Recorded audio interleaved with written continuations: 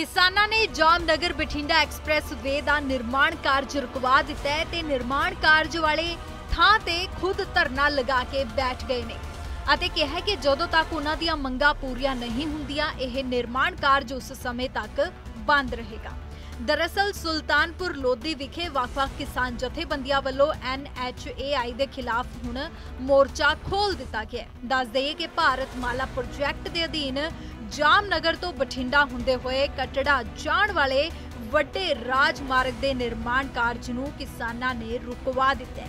ਕਿਸਾਨਾਂ ਵੱਲੋਂ ਅਣਮਿੱਥੇ ਸਮੇਂ ਲਈ ਮੋਰਚਾ ਖੋਲ ਦਿੱਤਾ ਗਿਆ ਹੈ ਤੇ ਧਰਨਾ ਪ੍ਰਦਰਸ਼ਨ ਹੁਣ ਕੀਤਾ ਜਾ ਰਿਹਾ ਹੈ। ਕਿਸਾਨਾਂ ਦਾ ਕਹਿਣਾ ਹੈ ਕਿ ਉਹਨਾਂ ਦੀਆਂ ਮੰਗਾਂ ਵੱਲ ਨਾ ਤਾਂ ਕੋਈ ਪ੍ਰਸ਼ਾਸਨ ਧਿਆਨ ਦੇ ਰਿਹਾ ਤੇ ਨਾ ਹੀ ਨੈਸ਼ਨਲ ਹਾਈਵੇ ਅਥਾਰਟੀ ਵਾਲੇ, ਜਿਸ ਦੇ ਚੱਲਦਿਆਂ ਕਿਸਾਨਾਂ ਨੂੰ ਖਦਸ਼ਾ ਹੈ ਕਿ ਉਹਨਾਂ ਦੀਆਂ ਫਸਲਾਂ ਆਉਣ ਵਾਲੇ ਸਮੇਂ ਦੇ ਵਿੱਚ ਡੁੱਬ ਜਾਣਗੀਆਂ, ਕਿਉਂਕਿ ਪਾਣੀ ਦੀ ਨਿਕਾਸੀ ਦਾ ਕੋਈ ਚੰਗਾ ਰਸਤਾ ਨਹੀਂ ਛੱਡਿਆ ਗਿਆ।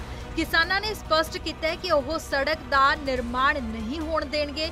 ਹੁਣ ਵੇਖਣਾ ਹੋਵੇਗਾ ਕਿ ਕਦੋਂ ਤੱਕ ਕਿਸਾਨਾਂ ਦੀਆਂ ਮੁਸ਼ਕਲਾਂ ਹੱਲ ਹੋਣਗੀਆਂ ਤੇ ਕਦੋਂ ਇਸ ਦਾ ਨਿਰਮਾਣ ਕਾਰਜ ਮੁੜ ਤੋਂ ਸ਼ੁਰੂ ਹੋਵੇਗਾ। ਮੈਂ ਪ੍ਰਭਜਲ ਸਿੰਘ ਪ੍ਰਧਾਨ ਰੋਡ ਕਿਸਾਨ ਸੰਘਰਸ਼ ਕਮੇਟੀ ਕਪੂਰਥਲਾ। ਅੱਜ ਦਾ ਜਿਹੜਾ ਰੋਸ ਧਰਨਾ ਹੈ, ਇਹ ਸਾਡੇ ਪਾਣੀ ਦੀ ਨਿਕਾਸੀ ਦੇ ਯੋਗ ਪ੍ਰਬੰਧ ਨਾ ਹੋਣ ਕਰਕੇ ਦਿੱਤਾ ਜਾ ਰਿਹਾ। ਉਹਦੇ ਕੁਝ ਕਾਰਨ ਹੈ ਡੀਸੀ ਸਾਹਿਬ ਨੇ 2023 ਦੇ ਵਿੱਚ ਇੱਕ ਕਮੇਟੀ ਬਣਾਈ ਸੀ। ਉਹਦੇ ਵਿੱਚ ਐਕਸ਼ਨ ਪੀਡੀਯੂ ਐਕਸ਼ਨ ਇਰੀਗੇਸ਼ਨ ਔਰ ਕਿਸਾਨਾਂ ਵੱਲੋਂ ਇੱਕ ਨੁਮਾਇੰਦਾ ਸੀ। ਅਸੀਂ ਹਰ ਪਿੰਡ ਵਿੱਚ ਜਾ ਕੇ ਕਮੇਟੀ ਨੇ ਸਰਵੇ ਕੀਤਾ। ਜਿੱਥੇ ਜਿੱਥੇ ਪਾਣੀ ਦੇ ਯੋਗ ਪ੍ਰਬੰਧ ਸੀ, ਉਸ ਕਮੇਟੀ ਨੇ ਡੀਸੀ ਸਾਹਿਬ ਨੂੰ ਸਿਫਾਰਿਸ਼ ਕੀਤੀ। ਨਾਲ ਹੀ ਐਨਐਚ ਦੇ ਅਧਿਕਾਰੀ ਸੀ ਜਦੋਂ ਵਿਜ਼ਿਟ ਹੋਇਆ, ਉਹਦੇ ਹਰ ਹਰ ਐਨਐਚ ਦੀ ਸਹਿਮਤੀ ਦੇ ਨਾਲ ਹਰ ਹਰ ਜਗ੍ਹਾ ਤੇ ਜਿਹੜੇ ਆ ਉਹ ਪੁਆਇੰਟ ਰੱਖੇ ਗਏ ਕਿ ਇੱਥੇ ਪਾਣੀ ਨਿਕਾਸੀ ਲਈ ਜਿਹੜੇ ਆ ਜੋ ਪ੍ਰਬੰਧ ਕਰਨੇ, ਪੁਲ ਬਣਾਉਣੇ ਆ। ਇੱਕ ਸਾਲ ਹੋ ਗਿਆ ਇਸ ਕਮੇਟੀ ਬਣੀ ਨੂੰ, ਉਹਦੀਆਂ ਸਿਫਾਰਸ਼ਾਂ ਨੂੰ ਡੀਸੀ ਸਾਹਿਬ ਨੂੰ ਦਿੱਤੀਆਂ ਨੂੰ। ਅੱਜ ਤੱਕ ਕਿਤੇ ਵੀ ਡੀਸੀ ਸਾਹਿਬ ਦੀਆਂ ਸਿਫਾਰਸ਼ਾਂ ਨੂੰ ਇੰਪਲੀਮੈਂਟ ਨਹੀਂ ਕੀਤਾ ਗਿਆ। ਔਰ ਬਾਰਿਸ਼ ਦਾ ਸੀਜ਼ਨ ਆ, ਪਾਣੀ, ਇੱਕ ਵੀ ਬਾਰਿਸ਼ ਪੈ ਗਈ ਤੇ ਆ ਤੁਹਾਡੇ ਸਾਹਮਣੇ ਸਾਰਾ ਕੁਝ ਆ। ਪਾਣੀ ਦੀ ਕਿਤੇ ਵੀ ਨਿਕਾਸੀ ਨਹੀਂ, ਸਾਡੇ ਜਿਹੜੇ ਫਾਰਮਰ ਆ, ਬਹੁਤ ਛੋਟੀ ਕਿਸਾਨੀ ਆ। 2 ਕਿੱਲੇ 4 ਕਿੱਲੇ 5 ਕਿੱਲੇ। ਝੋਨੇ ਤੇ ਪੂਰਾ ਖਰਚਾ ਹੋ ਗਿਆ। ਹੁਣ ਝੋਨਾ ਪੱਕਣਾ ਤੇ ਸਿਰਫ ਵੱਢਣਾ। ਇੱਕ ਬਰਸਾਤ ਆ ਗਈ ਤੇ ਕਿਸੇ ਵੀ ਖੇਤ ਦਾ ਪਾਣੀ ਅੱਗੇ ਨਹੀਂ ਨਿਕਲਣਾ ਤੇ ਝੋਨੇ ਬਿਲਕੁਲ ਸਾਡੇ ਖਤਮ। ਔਰ ਬੜੇ ਦੁੱਖ ਭਰੇ ਜਿਹੜੇ ਅੱਜ ਦਾ ਜਿਹੜਾ ਧਰਨਾ ਨਾ, ਬੜੇ ਦੁਖੀ ਹੋ ਕੇ ਦੇਣਾ ਪਿਆ। ਸਰਕਾਰਾਂ ਨਾਲ ਸਾਨੂੰ ਕੋਈ ਟੱਕਰ ਲੈਣ ਦੀ ਕਦੇ ਇਦਾਂ ਦੀ ਲੋੜ ਨਹੀਂ ਗਈ। ਪਰ ਜੇ ਸਰਕਾਰਾਂ ਸਾਡੇ ਕੰਮ ਦੇ ਵਿੱਚ ਵਿਘਨ ਪਾਉਣਗੀਆਂ, ਸਾਡਾ ਜਿ- ਬਣਦਾ ਹੱਕ ਨਾ ਦੇਣਗੀਆਂ, ਤੇ ਹਰ ਸੰਘਰਸ਼ ਕਰਾਂਗੇ। ਜਿੰਨਾ ਚਿਰ ਸਾਡੇ ਇਹ ਯੋਗ ਪ੍ਰਬੰਧ ਨਹੀਂ ਕਰਦੇ ਇਹ ਧਰਨਾ ਇਦਾਂ ਜਾਰੀ ਰਹੂਗਾ ਲਗਾਤਾਰ। ਤਾਂ ਹੀ ਕੋਈ ਗੱਲ ਹੋਈ ਹੈ ਪ੍ਰਸ਼ਾਸਨ ਜਾਂ ਉੱਚ ਅਧਿਕਾਰੀ ਨਾਲ ਇਹਨੇ ਨਹੀਂ ਹਾਲੇ ਤੱਕ ਨਾ ਤਾਂ ਕੋਈ ਐਨਐਚ ਦਾ ਅਧਿਕਾਰੀ ਆਇਆ ਨਾ ਕੋਈ ਪ੍ਰਸ਼ਾਸਨ ਦਾ ਅਧਿਕਾਰੀ ਆਇਆ। ਜੇਕਰ ਤੁਹਾਡੀਆਂ ਮੰਗਾਂ ਨਹੀਂ ਮੰਨੀਆਂ ਇਸ ਤੋਂ ਬਾਅਦ ਕੀ ਸੰਘਰਸ਼ ਹੋਊਗਾ ਤੁਹਾਡਾ? ਸੰਘਰਸ਼ ਨੂੰ ਹੋਰ ਤਿੱਖਾ ਕਰਾਂਗੇ ਔਰ ਪੂਰਾ ਜ਼ਿਲ੍ਹਾ ਬੰਦ ਕਰਾਵਾਂਗੇ। ਅੱਜ ਤੇ ਅਸੀਂ ਸੁਲਤਾਨਪੁਰ ਲੋਧੀ ਦਾ ਕੰਮ ਬੰਦ ਕਰਾਇਆ ਫਿਰ ਅਸੀਂ ਪੂਰੇ ਜ਼ਿਲ੍ਹੇ ਵਿੱਚ ਕੰਮ ਬੰਦ ਕਰਾਵਾਂਗੇ। ਕਿਤੇ ਵੀ ਸੜਕ ਦਾ ਕੰਮ ਚੱਲਣ ਨਹੀਂ ਦੇਵਾਂਗੇ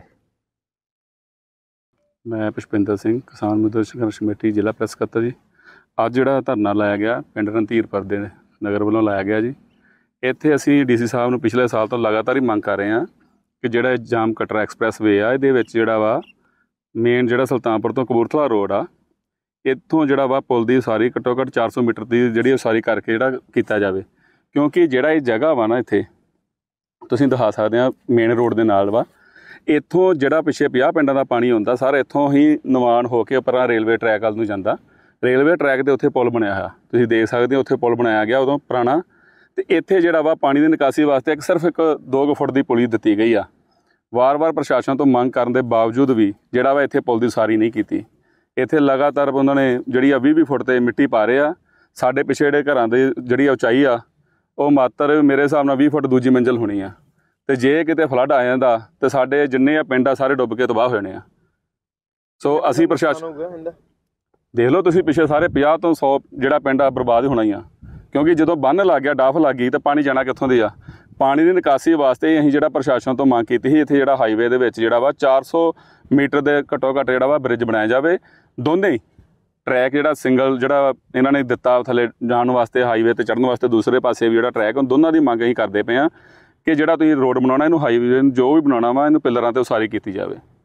ਜੇਕਰ ਇਹਨਾਂ ਨੇ ਨਹੀਂ ਕੀਤਾ ਹੀ ਉਹਨਾਂ ਚਿਰ ਇਹਨਾਂ ਦਾ ਜਿਹੜਾ ਕੰਮ ਨਹੀਂ ਚੱਲਣ ਦੇਵਾਂਗੇ। ਜੇ ਲੋੜ ਪਈ ਤਾਂ ਸਾਨੂੰ ਜਿਹੜਾ ਕਪੂਰਥਲਾ, ਸੁਲਤਾਨਪੁਰ ਵਾਲਾ ਰੋਡ, ਉਹ ਵੀ ਜਾਮ ਕਰਾਂਗੇ।